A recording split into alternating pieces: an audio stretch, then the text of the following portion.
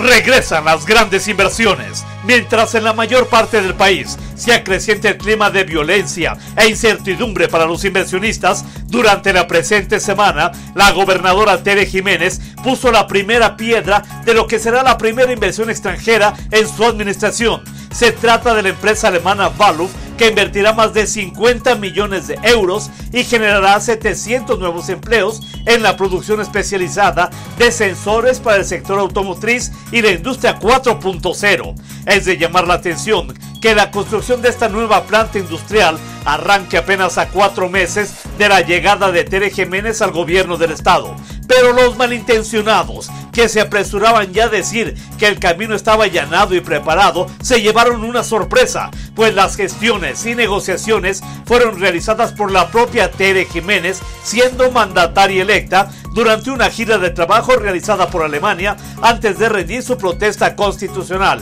Hoy, Nadie puede negar que Aguascalientes está en la mira de los inversionistas internacionales, primero por su paz social, alta capacitación profesional y la mejora regulatoria, cualidades que serán bien explotadas para consolidar proyectos y recuperar los últimos seis años que literalmente fueron tirados a la basura por el irresponsable que nos gobernaba.